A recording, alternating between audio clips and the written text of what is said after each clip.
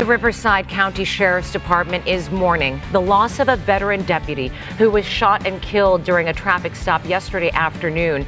Sheriff Chad Bianco said the suspect pulled out a gun and shot 20 32 year old Deputy Isaiah Cordero as he approached the vehicle. Investigators say the deputy was killed by 44 year old William McKay, who was later located in San Bernardino County and led authorities on a pursuit.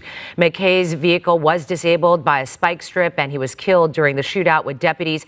A somber procession that included hundreds of fellow deputies was held last night for Deputy Cordero. Good evening. This is the KTLA 5 News at 530. I'm Cher Calvin. And I'm Pedro Rivera. William McKay, the man detectives say killed Deputy Cordero, had an extensive criminal history and was convicted of a third strike in November of 2021. Sheriff Chad Bianco says he believes Deputy Cordero would still be alive if a judge had sentenced McKay after the third strike. Instead, the judge reduced his bail, allowing him to be released. KTLA's Chip Yost is live in San Bernardino with more on McKay's history. Chip.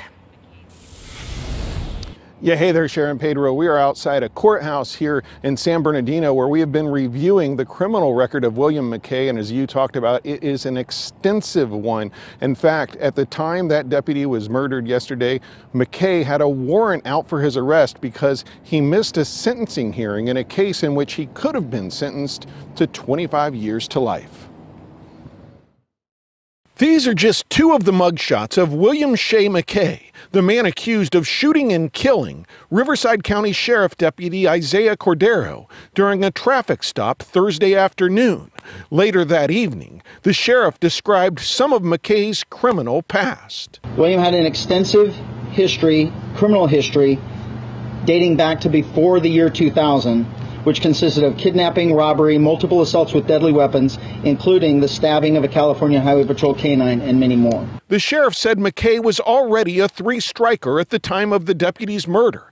Court records show he got his first strike from a 1999 case that included a high speed pursuit and waving a firearm at officers. He was sentenced to three years in that case. His second strike came from a case in 2005 where he was accused of busting into the room of a sleeping couple beating them and stealing $3,700 from their safe. He got 13 years for that one. Then, in November of 2021, he was convicted of false imprisonment, evading police again, and other charges in a case where he was accused of tying up a woman and holding her hostage. But instead of sentencing him immediately, the San Bernardino County District Attorney says the sentencing was continued and his bail was reduced to $500,000 against prosecutors' wishes.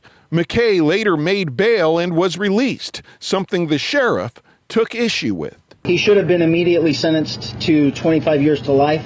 The judge reduced bail, allowing him to bail out against the objections of the prosecutor, and here we are today.